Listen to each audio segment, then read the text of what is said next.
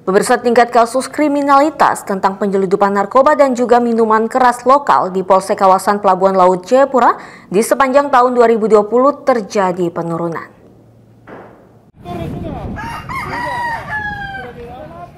Angka kriminalitas di kawasan Pelabuhan Laut Jayapura yang paling menonjol yaitu kasus penyeludupan narkoba dan minuman keras lokal jenis Sopi dan Siti.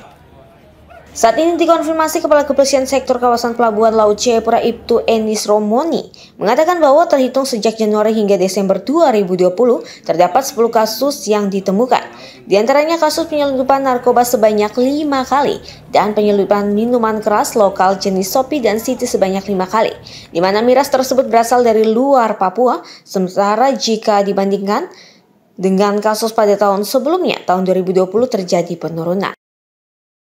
Kasus yang kita tangani di KP3 Laut yang kita tangkap miras sebanyak kurang lebih lima kali dan narkoba kurang lebih empat kali.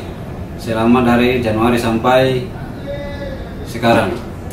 Karena waktu itu pandemi jadi kita fokus untuk mengatur masyarakat yang turun maupun eh, yang naik agar ikuti sesuai protokol. Dari kami tidak terlalu fokus ke situ tapi tetap kami ada pemeriksaan Kapolsek KP Laut Jayapura menambahkan di tahun 2021 pihaknya akan lebih intens dan memperketat dalam pengamanan serta pemeriksaan barang bawaan penumpang yang hendak naik maupun turun. Demi mencegah melintasnya barang-barang terlarang seperti minuman keras dan narkoba ke kota Jayapura maupun keluar Jayapura. Dari kota Jayapura, Darul Mutakin News Jayapura melaporkan.